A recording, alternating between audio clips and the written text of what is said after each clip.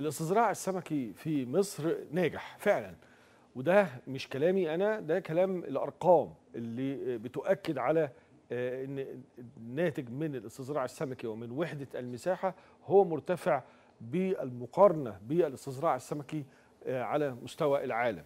نجحنا في استصدراع سمكي في عدة أنواع على رأسها سمكة البلطي المشروعات القومية اللي معنيه بده. وكان آه، آه، في تطور كبير أيضا في آه، صناعة الأعلاف المعنية بالأسماك وده أدى إلى زيادة معدل التحويل.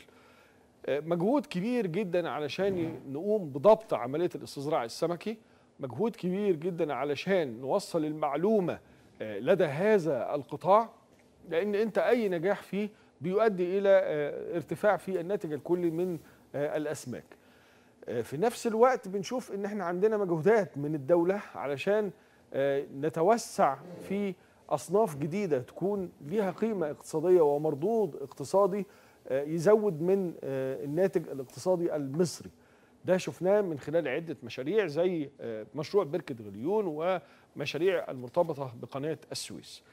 وزير الزراعة بيبحث مع وفد المركز الدولي للأسماك تعزيز التعاون المشترك بين الجانبين. استقبل السيد القصير وزير الزراعة واستصلاح الأراضي كل من الدكتور أسامة ياسين المدير العام المؤقت للمركز الدولي للأسماك والدكتور بابا يوسف أبو بكر رئيس مجلس الأمناء للمركز الدولي للأسماك والدكتور أحمد نصر الله المدير القطري للمركز الدولي للأسماك بمصر. لبحث سبل تعزيز التعاون بين الوزارة والمركز والأنشطة المستقبلية المقرر إقامتها في مصر.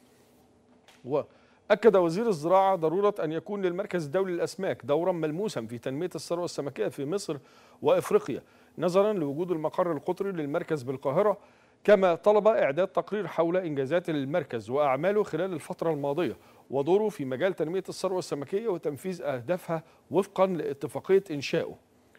أنا معايا على الهاتف الدكتور أحمد نصر الله المدير القطري للمركز الدولي للأسماك. برحب بحضرتك يا دكتور أحمد. أهلا وسهلا مستر سامح. ازي صحه حضرتك يا فندم؟ بالتوفيق دائما يا دكتور. آه، المركز. الدولي للأسماك أنا آه، يعني عايز أتكلم عن أهميته. المركز الدولي للأسماك تم إنشاؤه في مصر لعدة أهداف. يا ريت حضرتك توضحها لنا.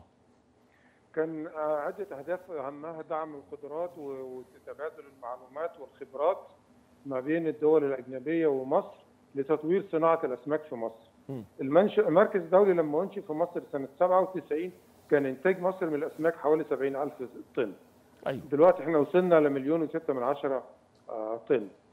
ده جاي من من من من مجهود كبير اتبذل آه، بقيادة الدولة المصرية وبمساهمه القطاع الخاص وال والجهات البحثية المختلفة اللي هي أحد أهم أطرافها كان المركز الدولي للأسماك.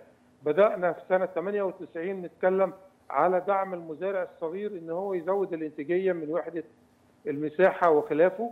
دلوقتي لا إحنا بدأنا نتطور بقى في نظر زراعة متخصصة والزراعه منف- منفرد وبنتكلم في أمان حيوي وبنتكلم في التصدير فحصل نقلة كبيرة قوي وطفرة كبيرة قوي قوي قوي على ال- في قطاع الثروة السمكية في مصر في خلال ال 20 سنة فاتوا. بس برضو عايز أتوقف عند هذه الجزئية إحنا الحمد لله في. الاستصدار السمكي فعلا حصل طفرة المركز الدولي للأسماك اللي أنا فهمته من كلام حضرتك إن هو دوره إرشادي إن أنا أنقل المعلومة الإرشادية لقطاع الاستصدار السمكي في مصر.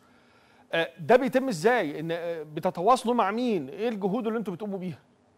طيب المركز ليه ليه عدة أدوار احد الدور منهم ال- ال- ال- ال- اللي هو دعم القدرات. آه، دعم القدرات ده بيتم عن طريق التواصل مع المزارعين في دورات تدريبية بتنعمل في المركز أو دورات تدريب حقلي. أيوه.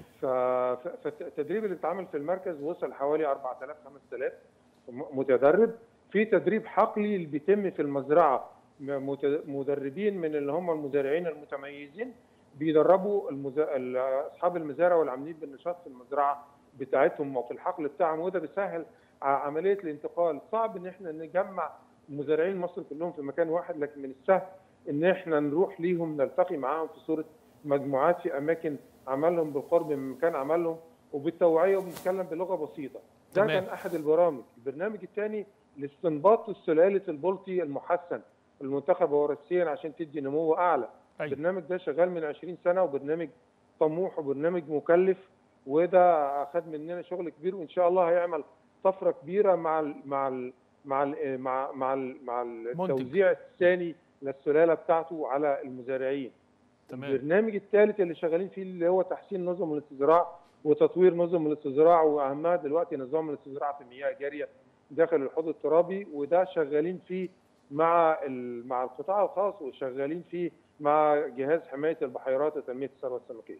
اتفضل. تمام طيب إحنا كده بنتكلم على فعلا آه، محاور تؤدي إلى زيادة الإنتاجية والحفاظ عليها لأن أنت عارف إن البحث العلمي عليه دور كبير جدا لأن كل فترة بتظهر بعض المشاكل بعض المسببات المرضية. الأسماك بتحتاج مجهود أيضا للحفاظ على جودتها. فأنت النهارده كلمتني كمان استنباط سلالات. آه إن أنا ب- ب- متواجد مع المزارع علشان أشوف كل الممارسات اللي بتتم لأن الاستزراع السمكي محتاج ممارسات دقيقة آه جدا.